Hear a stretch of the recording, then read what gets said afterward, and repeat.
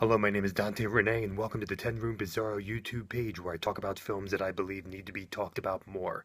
Like tonight's film, 1971's Die Stewardessen. I believe it's uh, roughly translated Stewardess's Report. And this is directed by Erwin C. Dietrich, not to be confused with the 3D stewardess film, I believe, called The Stewardesses. This is an Erwin C. Dietrich exotic film right here, Die Stewardessen, and this is put out um, as part of the Ingrid Steeger collection. Ingrid Steeger is an actress uh, who was in a, a, a, lot of Erwin C. Dietrich's films, such as The Groupie and the Blut Jung films that I reviewed in this YouTube page. And this is a 1971 film by Erwin C. Dietrich with an amazing cover you can see right here, folks. Die Stewardessen, rated 16 and uh, this is from 1971. I can show you a little bit of the back here. Okay, and actually, uh, not just Ingrid Steeger, but there are other actresses from um, other Erwin C. Dietrich films that you will see in here, as well as actors, men and women. Uh, specifically, I noticed from the Blutjung uh, films, which are kind of Erwin C. Dietrich's um, young seducers or, or, or blood seducers. Um, kind of his versions of the schoolgirl report. Well, this is the stewardesses, the stewardesses report, roughly translated. Die Stewardessen, 1971. Look at that cover. Unbelievable. So let's get into this film right here. I have so, there, there's so much about this film. It's ridiculous. Um, First and foremost, as you're aware of, there is a stewardess genre of, of cinema out there. Uh, probably, you know, one of the most popular names that just got released on 3D is that movie I was talking about called The Stewardesses. Um, but this film doesn't get love at all. I mean, nobody talks about this film. This is probably the least popular stewardess film out there because how rare it is, how unavailable it is. But this is put out by the Ascot Elite German region free Blu ray. I bought this off diabolicdvd.com and um, Ascot Elite puts out uh, the Jess Franco films that Erwin C. Dietrich produced, and then Erwin C. Dietrich's directed films as well, like this one. Very rare, very uh, hard to get, very hard to even know about, and we're going to talk about it tonight. Die Stewardessen is essentially um, the story of a group of stewardesses um, who are traveling throughout the world and the different uh, relationships uh, they have and the different adventures and the different sexual relationships they have and sexual adventures they have. Um, but what makes it so interesting is that you're also your this film is your ticket. This is your plane ticket. So not only is this film a stewardess film, this film is your plane ticket. Pop it into your Blu-ray player and you are now traveling to a variety of countries. This film takes you to a variety of different countries, about five, I believe, five or six maybe. Uh, Copenhagen, you know, uh, uh, Rome. I mean, you're, you're, you're traveling all over the place. Um, Munich and Switzerland, and it's unbelievable because you are actually going on location in these different um, these different countries, and it's and it's such you're getting a history lesson, you're getting uh, major landmarks, um, all of this mixed with these interesting sexual escapades with a variety of different. Um, uh, situations and cultures, obviously. Now, this film also acts in a way a bit like an anthology film, a sexual anthology film, like a schoolgirl report type of film, or or or would say Dietrich's Blutjung films.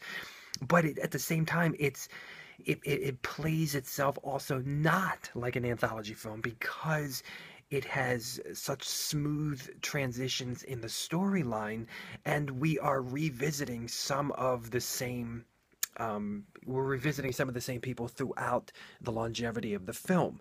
Um, so the characters, the stewardesses, the pilot, they are all throughout this film in a way, existing throughout this film um, as planes go to and from uh, different countries.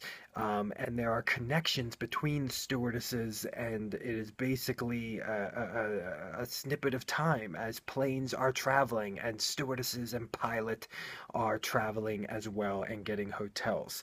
Um, there is a lot of style in this film. There is a lot of music in this film. There is a lot of diversity in this film. This film also breaks the fourth wall. Um, we we have crazy, crazy stuff in this film. We have a fish tank mirror. Um, we have uh, actually going into a topless, a, a, a, sex shop run by a topless girl. Looked like a real sex shop. Um, we take. Um, we, we, we get into some communism. We meet a communist. Uh, we go to Oktoberfest in Munich. Um, I mean, we are going everywhere. Um, there are lots of showers before sexual activities. There's an old man that falls asleep before sex. There's there's very expansive champagne in this film. There are baths in this film. Um, there are uh, porno films within the film, and and and there there's there's. Uh, communist pot parties and orgies and a book called Hash Party that has like a, a hardcore sex in it, like a Hustlers magazine or something. This film is crazy. Let's get let's get into it. The music of this film was done by Walter Baumgartner. Um, and Walter Baumgartner has done the music for a ton of Erwin C. Dietrich films, as well as as, a, as the grouping, a, a, a large group of Jess Franco films as well. And there's wall to wall music in this film. Everything from like 70s jovial, fun loving 70s sitcom, TV show, 70s uh, movie sounding music um, to exotic music as as this film is a plane ticket to all of these different countries that you're going to visit in this very filled 84 minutes there's music seemingly from all of those different cultures, all of those different regions um, in the film. Um, everything from sitar to to uh, to flutes to accordions. Um, there's also some excellent, funky, groovy 70s exploitation, sexploitation type music in this film as well. There's a lot of percussion in the film as well and there's just wall to wall music and excellent music at that very diverse as diverse as the different countries in this film.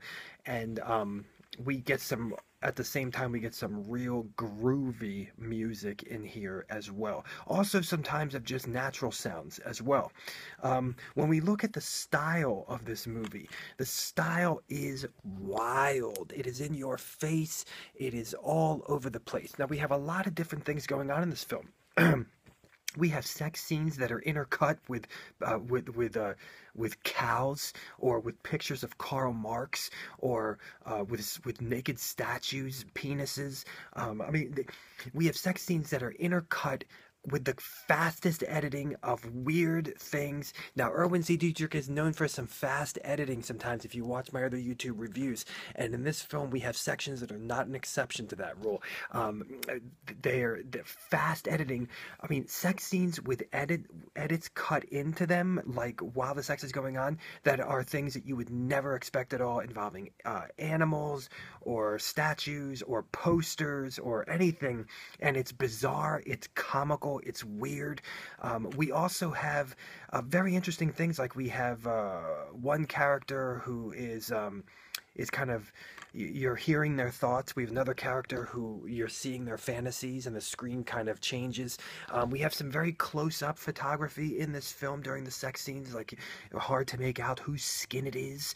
And then we have uh, one sex scene that is just the camera is completely stagnant at a, at a somewhat of a distant shot and just stays there.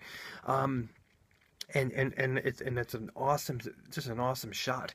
Uh, we have a lot of great obviously. The, the the city streets of all of these different countries you're getting history lessons in in some form or fashion for some of them which is weird and crazy. Beautiful hotels. Um, beautiful bathtubs or bathrooms in different situations and different bungalows and, and different uh, hippie communes and, and anything depending on the story. We even had this great nightclub and we have some funky, groovy kind of late 60s, early 70s music in that nightclub with some red lighting. Um, we have a lot of diversity um, in the style. We have things kind of getting thrown into the camera as well. Um, you can see it in the menu screen, something that happens near the end of the film. Um, so things that are kind of, and and and and keep your eyes open. You're going to see people in the cities in, in the in the different regions in the in the in the, the city streets that are looking at the camera. I mean, was was this guerrilla filmmaking? I have no idea. It looks like it was, um, and you'll you'll see kind of the actors sometimes look at the camera as something goes towards the camera you know just like that. It's really really lots of great style and breaking the fourth wall as well.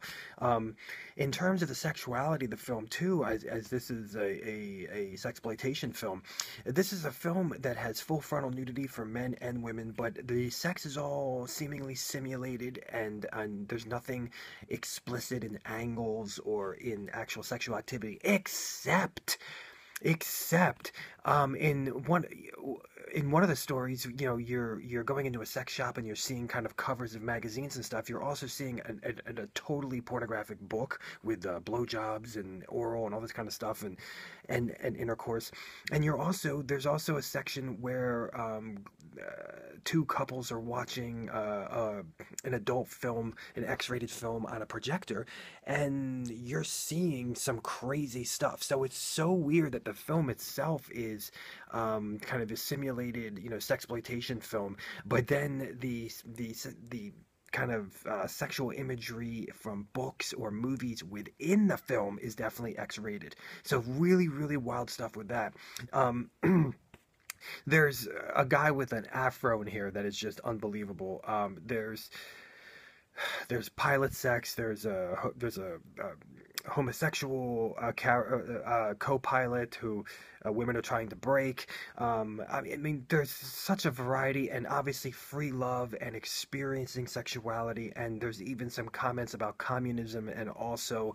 Um, or some themes of communism and also sexual liberation for men and women in the film as well. Obviously, 1971, and the film also goes in on itself also with um, sexploitation films or erotic films or adult films, as Erwin C. Dietrich is a director of them. And there's a blow up doll behind me. Um, so. Um, you're getting all of that in this film. And in the film, you know, you're there. There are sections that that that, that have this kind of seemingly um, in your face uh, the editing is kind of powerfully humorous or powerfully shocking or just powerfully like um, edgy in a way. And um, we have sections of just great dialogue in this film, uh, some romance, some interesting just day in the life dialogue. The film feels like a documentary at times. Uh, one guy gives a name to a duck he likes in the film that was random. Um, the film plays out like a, like literally days in the life and a travelogue video also, in, and, and, and also the, the, the film is showing you the airport and the air traffic controllers and the inside of the airplane and and also um, the airport itself, planes taking off, planes landing, uh, plane pornography here. You know, I mean, in, in, terms of the planes. And as a stewardess film, the the majority, the whole film takes place outside of the airplane for the most part. You know, that's that's the majority of the film right there. This is Die Stewardessen by Erwin C. Dietrich, 1971, roughly translated Stewardess's Report, a very very rare film in the stewardess genre and something that I think is so special, so unique, um, so light and fun and airy, yet weird, frivolous, sexy, erotic. The girls are sexually attractive. You are going to see some armpit hair if that's not your thing. Uh, the guys have a lot of diversity for the ladies as well, or or, or other guys. Um, and I will tell you that uh, this is a film that uh, takes you on an adventure. It is your plane ticket to a variety of countries and sex. Thank you so much for watching the 10 Room Bizarro YouTube page where I talk about films that I believe need to be talked about more like Die Stewardessen 1971. Thank you.